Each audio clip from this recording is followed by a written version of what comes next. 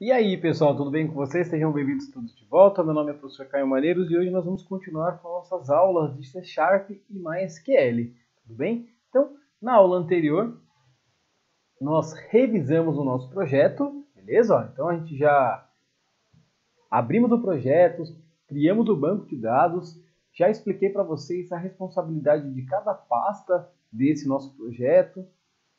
E se você não assistiu a primeira aula, é muito importante que você volte, assista a primeira aula, deixe tudo preparado no seu computador aí para que a gente consiga continuar. Bom, agora que a gente já criou o banco de dados no nosso projeto, pessoal, vamos começar a rever esse código, esses códigos que nós já fizemos em sala de aula, beleza?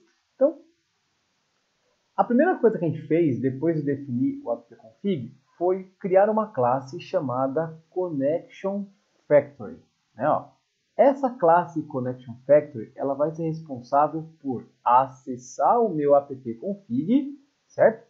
Para pegar, no caso, a, a minha string de conexão e se conectar no banco de dados. Então, repare ó, que eu criei um método, um método estático do tipo MySQL Connection chamado getConnection. O que, que esse método faz, pessoal? Primeiro, eu criei uma variável chamada conexão do tipo string e falei para o C Sharp atribuir nessa variável conexão configuration manager.connectionString projeto ds.connectionString. Então, essa linha aqui, o que, que, ele vai fazer? Ele vai lá no meu config, vai procurar uma connection string com esse nome. Olha que legal. Então, ó, ele vai procurar uma connection string com aquele nome que eu defini lá, certo? E vai guardar dentro dessa variável chamada conexão. Legal? Feito isso, eu vou fazer um return new MySQL connection passando essa conexão. Quem realmente, pessoal, se conecta no banco de dados é esse cara aqui, ó. É esse MySQL connection que vai você passando para ele uma string de conexão, vai se conectar no banco de dados. Beleza? Lembrando que pode ser que o seu cara, os, tanto esse cara aqui como esse cara aqui, pode ser que eles estejam assim. Quer ver? Olha, deixa eu apagar esses usings aqui para vocês visualizarem. Ó. Pode ser que ele não reconheça, tá vendo? Ó? Então, quem está fazendo esse projeto do zero e digitando, eu até recomendo que você pause o vídeo, vá digitando aí, e você vai perceber que mesmo você adicionando as referências, é, ele não vai reconhecer. Por que ele não vai reconhecer? Porque além disso, além de você adicionar as referências, você precisa adicionar os usings, né? Para que o C Sharp consiga acessar essas classes, para que ele consiga é, utilizar o código que está dentro dela. Então, como que eu faço isso?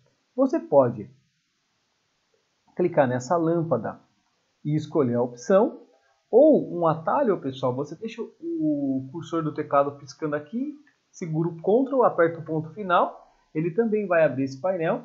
Aí você vai lá e escolhe. Legal? Então, a mesma coisa, Ctrl ponto. Beleza? Salvei e a nossa classe de conexão já está pronta. Depois que a gente fez a classe de conexão, pessoal, é, o próximo passo foi criar a nossa telinha, né? Então, o próximo passo foi nós vimos aqui na pasta View e adicionar um formulário e chamar esse formulário de FRM cliente, né? E criar essa interface aqui. Então, como que a gente adiciona um formulário numa pastinha View? Você clica com o botão direito, adicionar, um Windows Form. Vou até colocar um outro já aqui, ó. Eu vou colocar o FRM produtos.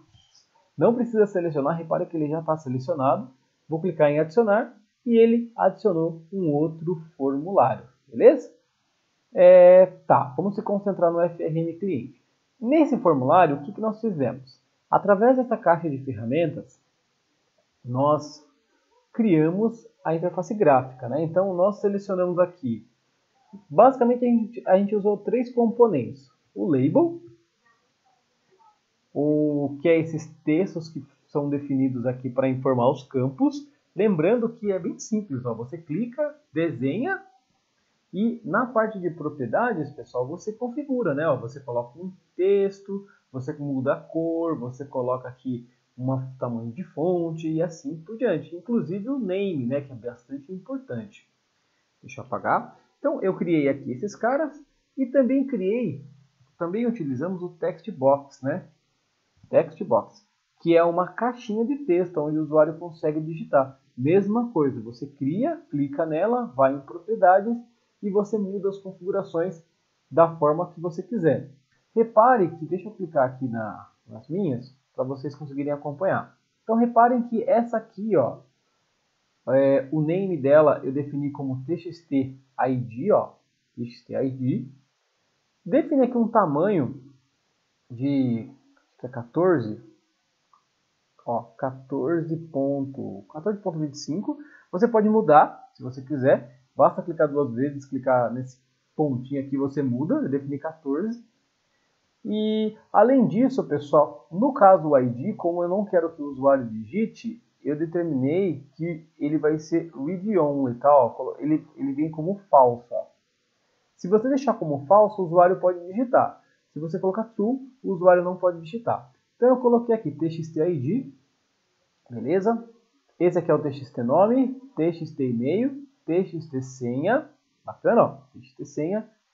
É, e qual mais? Ah, no, no, campo de senha, pessoal, eu fiz uma coisa a mais também aqui, ó. Eu vim aqui, ó, tem um, uma propriedade chamado password chart, tá vendo? Ó, password chart não, não tá sem nada. Eu quero que vocês cliquem e coloquem o asterisco. Isso vai permitir que quando o usuário digite, ele substitua o texto pelo asterisco. Você pode usar qualquer um, pode usar arroba, o que você quiser. Eu recomendo o asterisco porque é o mais comum, né? Bom, depois disso, deixa eu apagar esse cara aqui. Depois disso, o que, que nós fizemos? Eu criei um combo box. Ó. Então, eu venho aqui,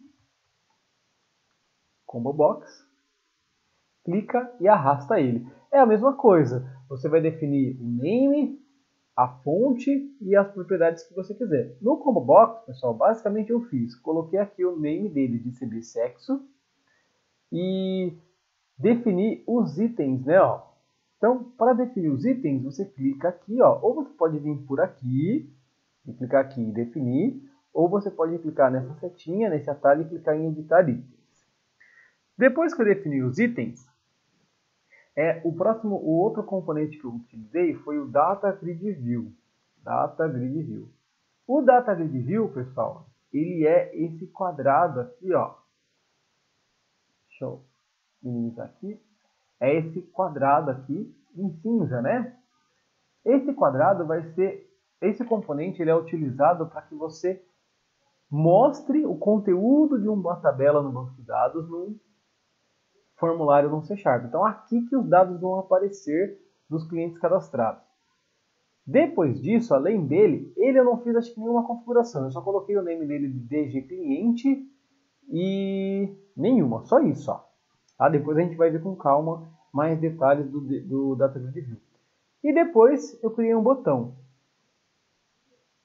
O botão, bem simples também, clique e arrasta. Ele vai desenhar para você aqui um botão. Esse botão, novamente, também eu coloquei o nome dele de BTN Cadastrar. Defini aqui uma fonte também. E somente isso, beleza? Somente isso daí. É, depois, pessoal, que a gente criou a nossa telinha, o que, que nós fizemos? Depois de criar a telinha, eu pedi para vocês criarem uma classe chamada cliente dentro da pasta model. Né? Então, para criar uma classe, você vai clicar com o botão direito, adicionar, classe, e vai colocar o nome da classe. Eu vou até colocar aqui, ó, classe produto, para exemplificar. Bom, nem precisa colocar. Você pode colocar o ponto .cs ou não precisa, né? Produto. Então, quando você cria essa classe, você vai determinar que essa classe ela vai ser pública, beleza? E dentro dessas chaves aqui, você vai colocar, pessoal, todos os atributos necessários para você capturar os dados que vão vir da tela para salvar no banco de dados. Então lembra que esse objeto, essa classe aqui vai ser responsável por gerar aquele objeto que vai pegar os dados de uma view, no caso de produto, para enviar para o banco de dados. Então nesse caso aqui, ó, eu já criei aqui, ó, o ID, o nome, o e-mail, a senha e o sexo. Então, esses caras são nesses atributos aqui que eu vou guardar os dados que vêm da view dentro do meu objeto para que eu consiga salvar no banco de dados. O ID, pessoal, no cadastro a gente não está utilizando, mas no alterar e no deletar a gente vai utilizar, beleza? É... Para fazer isso, pessoal, é bem simples, tá? O que, que você vai fazer? Eu vou apagar esse aqui, só vou fazer um porque é muito simples, vocês vão fazer bem rápido aí, ó. Você vai digitar prop e vai, e vai apertar o tab duas vezes, ó. O tab fica do lado do que, pessoal? Do lado esquerdo da, da letra aqui. Tab, tab. Vai colocar o tipo, no caso, string. E vai colocar o nome, sexo. Mas por que, que eu estou colocando o tipo string, pessoal? Para fazer isso aqui, você vai lá no banco de dados, vai pegar a sua tabela e vai verificar esses campos aqui. Para cada campo que eu tenho aqui, você vai perceber que eu criei um atributo na minha classe model de cliente. Então eu tenho aqui o ID, nome, e-mail, senha e sexo. Outro detalhe, você não precisa seguir os nomes que estão aqui, tá? Ó, querem, por exemplo, ID underline cliente. Eu poderia seguir, tá? Mas eu preferi deixar somente ID. Repare que esses campos ele tem um tipo, certo? E no caso o tamanho, é a quantidade, né? Então, por exemplo, o ID ele é do tipo int. Beleza. Então aqui no meu projeto ele tem que ser também do tipo int. Aqui o nome ele é do tipo varchar. Não existe o tipo varchar no C Sharp. Existe um similar que faz a mesma coisa, que é o string. Beleza? Então nome é varchar string. E-mail é varchar string. E assim eu faço para todos. Bacana? Ó? Feito isso, pessoal, depois que eu fiz isso, pronto, eu já consigo a criar a parte de acesso a banco de dados. Então, como essa aula já deu 12 minutos, eu vou encerrar ela por aqui. É, verifiquem se vocês conseguiram aí, se vocês têm essa interface, se está com os nomes corretos. Quem não tem, cria. Você que está tá assistindo do YouTube, é, cria essas, essa interface para seguir esse projeto comigo. E cria a nossa classe model com esses atributos aqui, beleza? Então, qualquer dúvida você posta aí na, para os alunos da ITEC na, na plataforma Teams.